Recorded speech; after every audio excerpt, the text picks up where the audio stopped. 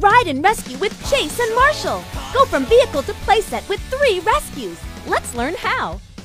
Each ride and rescue comes with one pup, two baby animals, two projectile launchers, and one instruction sheet. In vehicle mode, Ride and Rescue can drive with room for one pup and two baby animals. To transform it into playset mode, remove the baby animals from the top of the vehicle.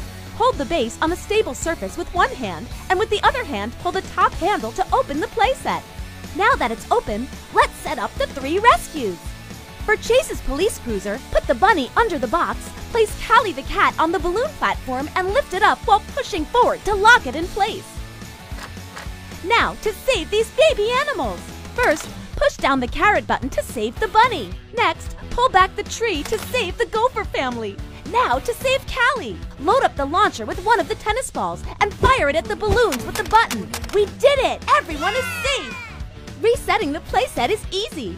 Place the pup back in their seat and make sure their neck is back in the upright position. Put the tennis balls back in their holders and remove the baby animals. The tree, balloons, and box will reset automatically.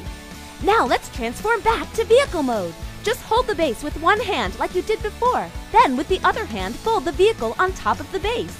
If your vehicle's having trouble closing, check to make sure the latch is fully inserted into the base. Make sure it's aligned with the hole in the base and push down until it clicks in place.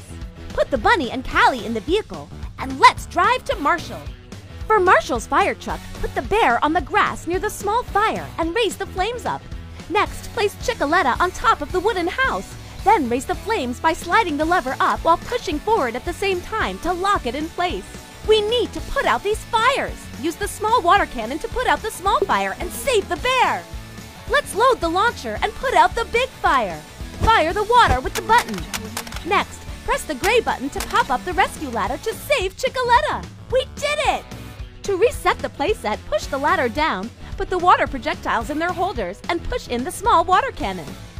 Now let's transform them back to vehicle mode. Hold the base with one hand, then with the other hand, fold the vehicle on top of the base.